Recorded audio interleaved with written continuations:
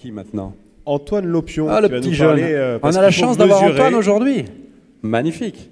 Mesurer pour progresser, c'est la clé de- des changements de pratique. C'est- C'est la clé de beaucoup de choses. Euh, on fait plein de belles choses, on raconte plein de belles choses depuis ce matin. Euh, L'agroécologie, les sols vivants, euh, le carbone, l'azote, euh, tout ce qu'on veut euh, présenter par tout le monde. Et puis euh, maintenant, qu'est-ce qu'on en fait? Qu'est-ce que ça donne? Est-ce qu'on a des bons résultats euh, économiques, environnementaux, sociaux? Est-ce que toutes, ces, pratiques améliorent les résultats? Et surtout à quel niveau elles les améliorent? C'est l'idée des indicateurs de résultats, de, mesurer en fait, mesurer pour progresser dans nos pratiques.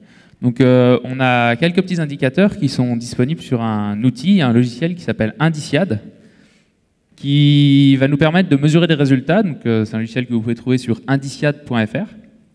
L'idée c'est euh, l'idée c'est des données, voilà, évaluer pour évoluer. Donc ça c'est la page d'accueil du site.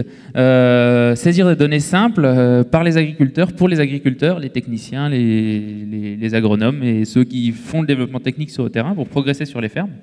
Et donc saisir ces données euh, assez rapidement, ça met deux heures euh, concrètement en ligne. Euh, sur la plateforme, il y a des calculs automatiques derrière, et puis ça nous sort toute une série d'indicateurs. Pourquoi ces indicateurs de progression technique? Parce que depuis ben, plusieurs années maintenant, on voit plein d'indicateurs de mesure. Euh, alors, euh, ils sont scientifiques, ils sont techniques, euh, ou ils sont autre chose. Et maintenant, la question, ça a toujours été pour les agriculteurs ok, on a plein, on a plein d'indicateurs, plein de résultats, plein de belles données, plein de statistiques, mais qu'est-ce qu'on en fait? Et donc, l'objectif, c'était bien d'avoir des outils pour améliorer nos résultats. Et donc, euh, mesurer nos résultats pour améliorer nos pratiques qui doivent améliorer nos résultats. Et donc, euh, l'idée, bon, c'était bien euh, de préparer l'avenir, c'est ce qu'on voit en dessous à droite. Il y a une compilation un petit peu de tous les indicateurs qui existaient qui a été faite et ont été sé- sélectionnés les indicateurs les plus pertinents pour mesurer très concrètement, très rapidement, très simplement la durabilité de nos fermes. Pour qui aujourd'hui Indiciat c'est utilisé par à peu près un millier d'agriculteurs en France. Euh, bon là c'est différents groupements, différents groupes d'agriculteurs qui utilisent. Pourquoi des groupes? Parce que on se rend compte que la saisie des données en groupe et l'analyse des résultats en groupe, ça marche toujours mieux que tout seul dans son coin et on progresse, on progresse bien plus vite sur les fermes. Comme ça, il y a eu une vraie émulation, euh, c'est tout ce qu'a expliqué Baptiste euh, avec les cellules agronomiques jusqu'avant. Il y a une vraie émulation à saisir, à travailler ensemble, à progresser ensemble, à comparer nos résultats, nos pratiques. Pourquoi chez toi ça marche, pourquoi chez toi ça marche pas Euh, Qu'est-ce qui a bien marché cette année? Tiens, c'est bizarre, il y a un truc là. Enfin voilà. L'idée, c'était vraiment de saisir ces données en groupe, et donc il y a plusieurs groupes qui utilisent et d'autres groupes qui vont continuer et encore utiliser Indiciad. Euh, les indicateurs, très rapidement, c'est tous des indicateurs issus de la recherche scientifique qui ont été tous euh, validés euh, depuis, depuis maintenant plusieurs années. Ils ont juste été, Indiciad a juste sélectionné, il y en a 28 aujourd'hui, les indicateurs les plus pertinents, simples, rapides à utiliser, à comprendre, très rapides à analyser pour remettre en perspective les pratiques agricoles des fermes. C'est tous des indicateurs de mesure de résultats. L'idée, c'est bien de mesurer les résultats de nos pratiques et pas de voir nos pratiques, euh, quelles notes on leur met. On doit mesurer les résultats et ensuite les lier aux pratiques pour faire progresser ces pratiques et améliorer ces résultats. Bon, ça existe depuis une dizaine d'années, euh, développé euh, sur grande culture et élevage. Et l'étape d'après, qui arrive tranquillement, ça va être maraîchage, arboriculture, viticulture, pour avoir un outil disponible pour toutes les agricultures. Bon, 28, cadi- 28 indicateurs, c'est avec ces indicateurs, on estime qu'on a le socle de la durabilité des fermes pour progresser. Euh, ils peuvent être complétés par d'autres indicateurs, ils sont évidemment évolutifs, amenés à évoluer, amenés à progresser, amenés à être améliorés. Et c'est tout l'objectif d'Indiciat d'ailleurs, de s'améliorer dans le temps en restant très simple, euh, tout en permettant toujours de progresser sur les fermes. Les enjeux, ils sont évidemment agronomiques. hein, euh, on doit parler, on parle depuis ce matin d'agroécologie, de vers de terre, euh, de cycle du carbone, de bilan humique. euh, on doit progresser sur les fermes euh, pour les sols, pour la fertilité, pour la progression technico-économique. Mais les enjeux derrière, ils sont aussi politiques. C'est-à-dire que sortir ces résultats, ben, ça permet de savoir cette agroécologie, qu'est-ce que ça donne? Qu'est-ce que ça fait? Est-ce qu'on peut communiquer dessus? Est-ce qu'on doit s'en servir?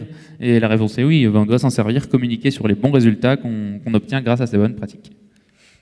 Euh, très rapidement, hein, la mise en œuvre de la méthode sur les fermes, ben, c'est un petit questionnaire de deux heures, on saisit les données, ça calcule, et puis on a des résultats qui sortent sous cette forme, euh, un petit radar.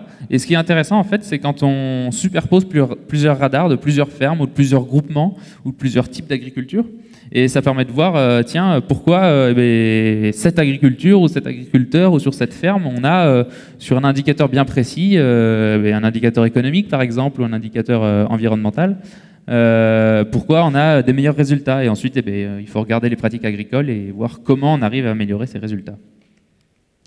Euh, les indicateurs, c'est bien des outils de gestion des progressions agronomiques sur les fermes, de progression technique.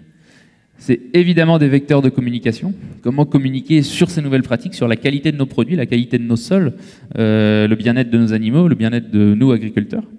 Euh, c'est des outils de progression, d'organisation des filières. Arthur en parlera juste après.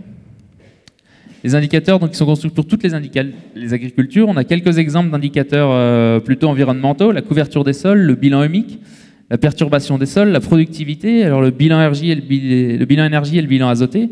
Euh, Marcel nous a dit tout à l'heure que les cycles du carbone et les cycles d'azote étaient tous faux et qu'il allait tous falloir les revoir, donc euh, on a encore du travail.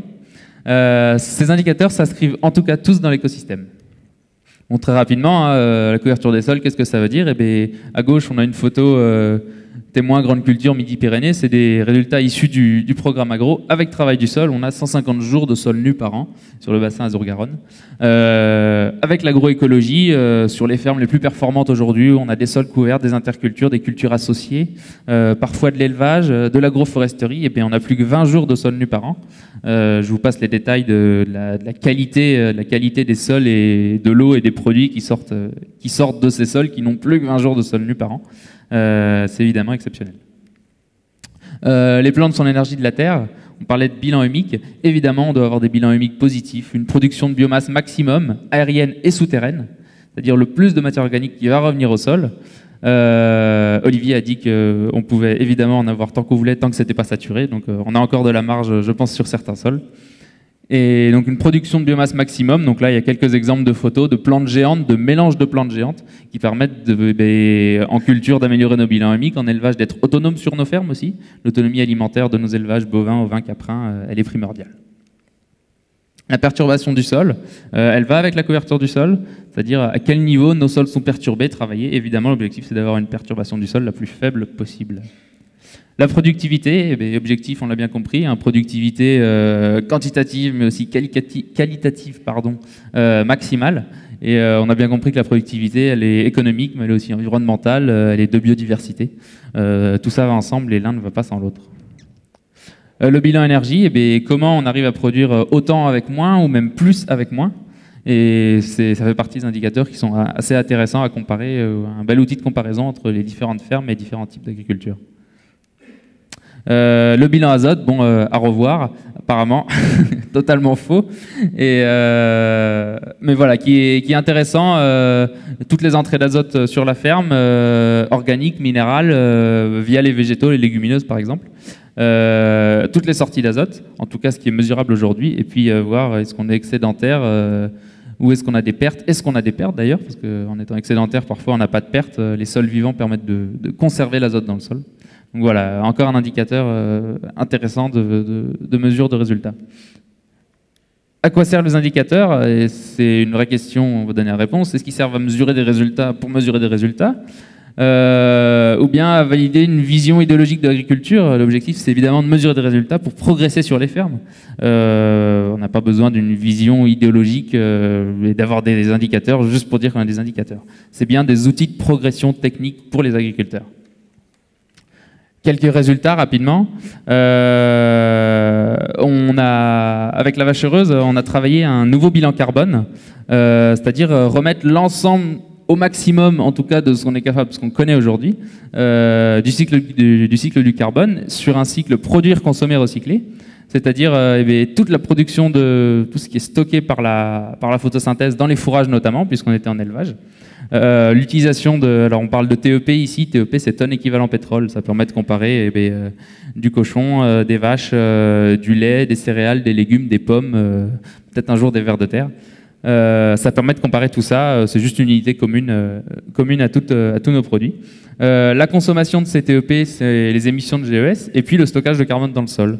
Et quand on rentre euh, ces trois données finalement, qu'on remet la ferme, la vache dans l'écosystème, on se rend compte que beaucoup, beaucoup de fermes sont capables aujourd'hui de stocker du carbone et que chaque critère doit être amélioré, mais on ne doit pas en oublier. C'est-à-dire on doit améliorer la production de carbone sur nos fermes, on doit diminuer la consommation de carbone sur nos fermes et on doit également améliorer le stockage de carbone dans les sols. Euh, pour terminer, euh, on parlait de couverture du sol et de, perturbation du sol tout à l'heure. Et on, a simplement remis sur un plan, un petit graphique comme ça, euh, ces deux valeurs et de voir comment on pouvait placer les fermes. Et on se rend compte finalement que quand on a une perturbation du sol très élevée sans couverture du sol, on pourrait parler d'agriculture dégénérative. Et quand on aurait eh des couverts végétaux, des intercultures avec les cultures, de l'agroforesterie, de la double culture, tout ça sur des sols non travaillés. On a une couverture du sol très élevée, un indice de perturbation du sol très faible, on a une production de biodiversité maximum. Et là, on parle d'agriculture du vivant, d'agriculture régénérative, d'agriculture bio-logique, et tout ce qu'on veut de sol vivant en tout cas. Je vous remercie.